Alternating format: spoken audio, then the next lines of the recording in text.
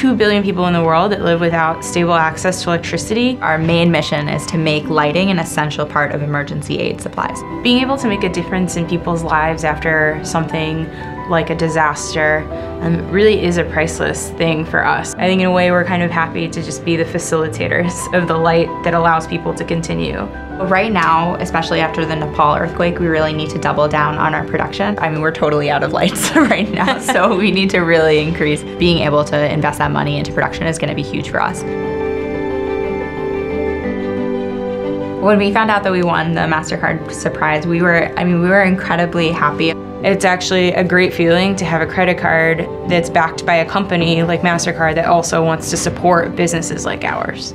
Actually, I don't know if Andrea knows this, but one of the things I promised when we found out that we won is that we'd all go out to dinner together. So we're really excited to just go out and really celebrate the surprise.